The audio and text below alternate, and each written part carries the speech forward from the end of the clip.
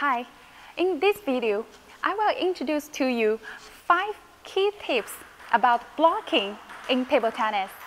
The block uses the stroke that is smaller than most other technique, such as topspin, loop, or flick. All we need to do is a small swing like this. Make sure you control your wrist since the power on the incoming ball is very strong. And if you don't control your wrist, it's easy for the ball to fly off the paddle.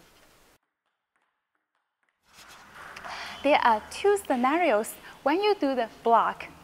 The first one is when the coming ball has a lot of power.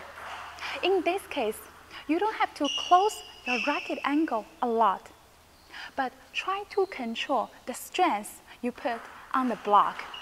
The second scenario is when the coming ball has a lot of spin. So this time, we have to really close our racket angle and give a little forward push motion on the ball. When you do the block, try to catch it at the early timing, early timing like what Harimoto does.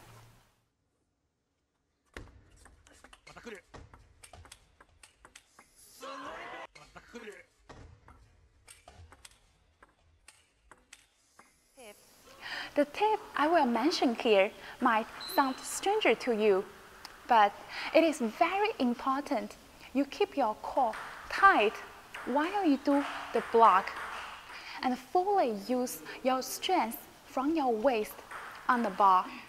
The block is only a transition shot, and we are always seeking for the chance to attack. もう一球球よく返した張本下げさせられた戸上つなぐ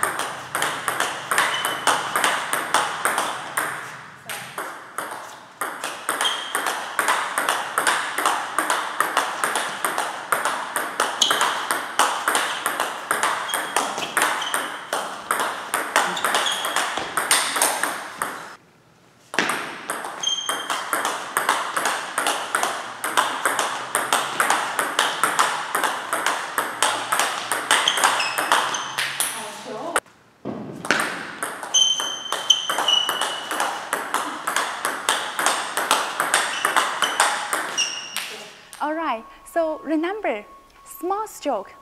Adjust your racket angle based on the incoming ball and catch it at the early timing. And keep your core tight. And don't forget, always seeking for the chance to attack.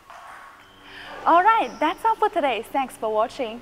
Hope those tips are helpful to you.